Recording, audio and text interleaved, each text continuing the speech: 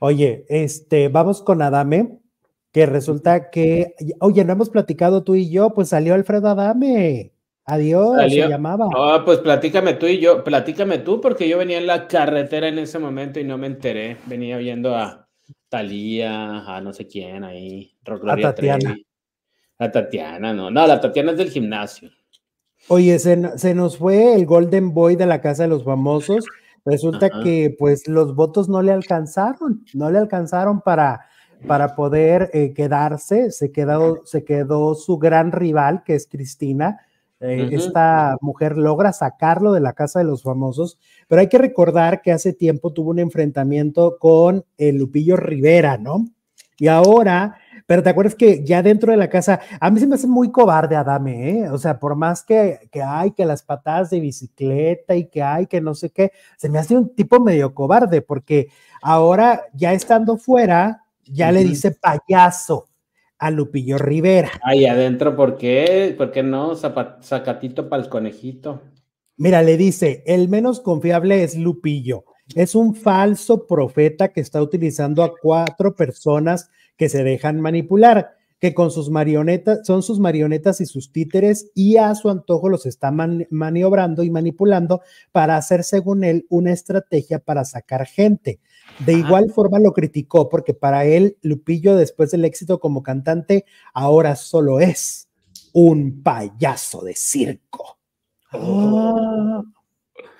Bueno, primero porque utilizar el término como payaso de circo fuera algo feo. Desde ahí. Ahí andamos. Para, para Adame sí es como lo peor que puede pasarle a alguna persona. Ajá, desde ahí estamos mal. Segundo, este, Lupillo Rivera se la cantó ahí en la casa y él ahorita se hace el que, ¿cómo se dice? El que, el, el más bravo, pero ¿por qué después era un corderito frente a Lupillo Rivera? Porque según él hizo las paces cuando estaba ahí en la casa. Acuérdese que Juan Rivera dijo que, que si Lupillo no le hacía nada, él se encargaba de Adame. Pero bueno, es que ya afuera sabe que si le dice algo a Lupillo o a su... Va a haber alguien que los va a separar, adentro no, adentro sí, en lo que llegaba la producción, pues ya le ya acomodado unos tres cates. Pues sí, y con todo y sus patadas de bicicleta. ¿Y, qué es cinta, ¿Y qué es? ¿Cinta qué? ¿Cinta negra? ¿Cinta qué? ¿Qué cinta negra, claro. Ajá. Entonces, mira, pero ahora le dice payaso a Lupillo. Yo que, yo lo que haría es que iba y le gritaba en esos carritos, ya ves esas señoras metichonas que van con los carritos a gritarle afuera, que le griten, Adame te dijo payaso, pártele su diririri. Oye, pero ¿y entonces Adame qué hizo cuando salió de la casa de los famosos? Solo vi una reacción ahí de que ya valió o algo así, pero cuando lo entrevistaron que lloró, hizo, hizo, hizo puchero, ¿qué dijo? Que lo sacaron por, por montoneros o cómo estuvo la cosa? Pues no estaba soportando, ¿eh? O sea, su cara era de no estoy soportando, su cara era de. Fue su, pues, pues no, no, no lloró ni nada. Este, él dice que, que, ¿cómo se llama? Pues que ya su tiempo era, ya había terminado en la, en la casa, pero este, lo que sí es que él se fue desinflando, ¿no? O sea, él fue como toda la expectativa de que iba a ser divertido. Pero no tiene nada de divertido. Fue bien aburrido todo el tiempo, fue la gran decepción, ni siquiera lo que hacía afuera ofender gente, pues es que ya lo ha, lo ha hecho tantas veces que, como dice Jesse, yo esa historia ya me la sé, ¿no? Pues es que son las mismas palabras que le ha dado a Rocío Banquels, que le ha dado a su ex esposa, que le ha dado a su exnovia, las mismas palabras que le dijo, o sea, no tiene otros argumentos y entonces él empieza que pe, pe, pe, pe, pe, y, y lo mismo, o sea, puedes poner un video de anteriores entrevistas o lo que dijo en la Casa de los Famosos y nunca aportó algo distinto. lo mismo. Aburrido, ¿no? Fue un mal, fue un mal integrante de la Casa de los Famosos, ¿no?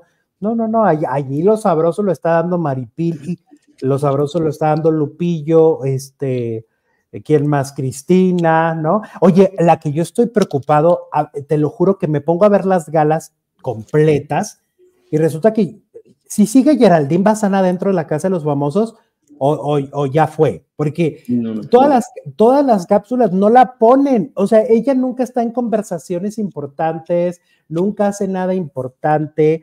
Te lo juro que pareciera que ella no existe al interior de la Casa de los Famosos. Ella y la puertorriqueña, la que entró después, Patricia no sé qué, las dos están X, porque por ejemplo el Pablo, ah, ya lo vimos que es un, es un canijo, el Pablo Quevedo pero al menos está dando contenido. No, es que ya anda organizándose.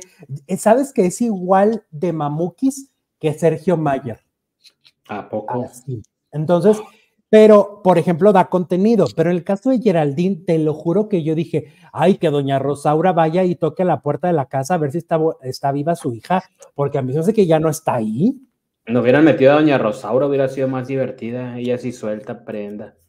Claro, doña Rosaura eh, hubiera estado divertidísima, pero en el caso de Geraldine Bazán, en serio, me parece, te lo juro que, o sea, me, aviento las dos horas de o tres, no sé cuánto dura de esa eterna la gala, y yo nunca la veo, nunca la veo. Entonces yo digo, mm. ¿qué pasó con Geraldine Bazán?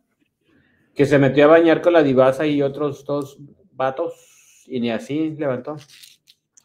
Pues no, que es el nuevo mueble, dicen, que es una lámpara. Geraldine anda en las sombras para que no la nominen, dicen los. Sí, porque ya va a llegar la hora de que sí la pueden nominar. Ok. ¿Cuál relación de Yolanda Andrade crees que fue peor? Dice la encuesta de hoy, más de dos mil votos con Lavero o con Lorena Meritano y la eh, encuesta, la gran mayoría dice con Lavero 64%. Ay, Dios. Ay, Diosito santo. Oye, vamos con. Verónica nunca ha contado la niega. Ah, pues por eso, y a lo mejor tiene algunas anécdotas como, como, Lorena Meritano. Porque la única anécdota que, que, Yolanda contó, pues es la de, a ver, ¿qué se sabe de la relación de Lavero? Con, cuando fue a, que Lavero estaba grabando algo en, en, Europa y que le cayó así de sorpresa, ¿no? Que eso fue lo que pasó con Lorena Meritano, que Yolanda Andrade estaba en Monterrey Lorena Meritano le dice que, que, ahí va a estar en su casa de una amiga y, y, Yolanda para darle la sorpresa no le avisa que va a regresar de Monterrey y llega y, Lorena ya andaba jijijijojojo en Valle de Bravo. Entonces, como que con un amigo, como que a Yolanda siempre le ha gustado darle ese tipo de sorpresas a sus, a sus novias y dicen que una vez la Vero estaba en Europa y de repente que llega Yolanda de la nada y que, pero ahí sí fue una sorpresa bonita. Y con Montserrat también tendrá sus historias. Maclovia del Piero, del Piero dice la peor relación fue con Montserrat. ¿A poco? Pero pues ellas no han dicho nunca nada así feo, feo, pero pues siguen trabajando juntas y se quieren mucho también. Bueno, también con Lorena Meritano se reconcilió. Yolanda Pérez. Exacto. Desde Hershey, Pensilvania. Hola Yoli, ¿cómo estás? Oli. Oye, Vamos con, con, Claudia de Casa, eh, Gustavo Adolfo. Fíjate que eso ha sido un tema de conversación. Uy, ayer, de la que te perdiste, volaron pelos aquí en el canal. Porque ya sabes que, ah, porque pues tú sabes que en cuanto hablamos de Gustavo es, eres un vendido, ¿no? y aparte, pues como Claudia de Casa tiene su canal de YouTube. Bueno, vendidos no, obvio no. Oye, pero como Claudia tiene su, canal y, mucha gente la sigue y, le gusta lo que dice, este, pues se armó, volaron pelos, ¿no? Este, que, que, entonces, pero yo lo que dije y lo volveré a decir cuantas veces sean necesarias, porque es mi opinión, es que la señora de casa le dedica tanta atención a Gustavo todo el tiempo y todo el tiempo lo insulta y todo el tiempo dice en las redes sociales, o sea, Ayer yo hice la cuenta, me saqué la calculadora, Jesús. Si, si ella escribe cinco tweets diarios a Gustavo, que a veces son más, pero son cinco tweets diarios, imagínate que al año son como dos mil. O sea, imagínate escribirle dos mil tweets al año a una persona y él le responde uno o dos al año y él es el villano de la historia. Sí. ¿Y el último por qué fue? El último. la, gota que derramó el vaso. Anda, es que todo, ella se pone a ver, a ver, vamos a ponerles el contexto. Realmente Claudia de casa se pone a ver de primera mano y empieza a tuitear. O sea, y entonces le dice hombrecillo, le dice patas de molcajete, le dice enano, le dice corrupto, le dice tantos, tantos, tantos calificativos y aparte en su programa que hace también, ahí en su programa también le dedica una serie de insultos todo el tiempo, todos los días. Y entonces, por eso es que causó tanto revuelo cuando Gustavo le contesta uno de sus miles de mensajes, ¿no? Pero el villano en la, en la telenovela se llama Gustavo, según la gente. Mucha gente que nos escribe dicen que el malo es él, ¿no? Este, no sé, a mí sí me gusta, a, mí sí me gusta irme a la lógica y no a lo visceral y nada más porque, ay, porque, porque ya no quiero a Gustavo según, ¿no? Porque hay gente que no lo quiere y ya no escuchan y se ciegan. Entonces, pues esta, este es, un escandalazo, ¿no? Que si esto, que si por aquello. Y entonces, total, por ejemplo, ayer me mandan un video y me dicen, otro punto de vista, ¿no? Y es un video de Jorge Carvajal hablando mal de, Gustavo Adolfo. Pues sí, pues es que ellos se odian, ¿no? Pues es que, ¿qué esperabas? ¿Estás de acuerdo? Pues es que los, los, seguidores de Claudia siempre van a defender a Claudia, eso es un hecho. Los, los seguidores de Gustavo siempre van a defender a Gustavo Adolfo y así va a ser. Entonces, pues para cada uno su...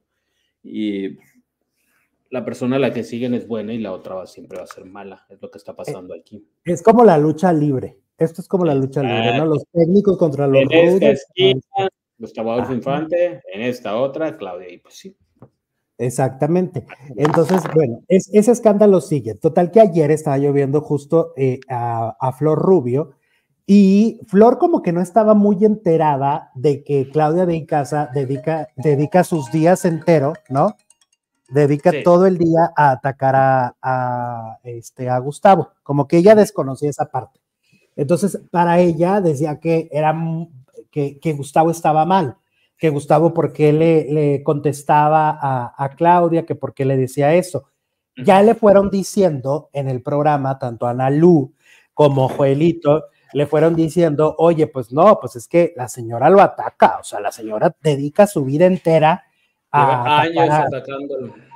Sí, o sea, prácticamente es la vida entera de, Claudia de Casa de los últimos años, es en, conforme, es, es en base a Gustavo Adolfo, o sea, no hay otro tema de conversación para ella en redes, ¿no? Porque ella podría ponerse a ver muchos otros programas que le, que y, y, decir crítica y todo. No, no, no, ella ve todo el tiempo de primera mano y los comentarios solo van para eso.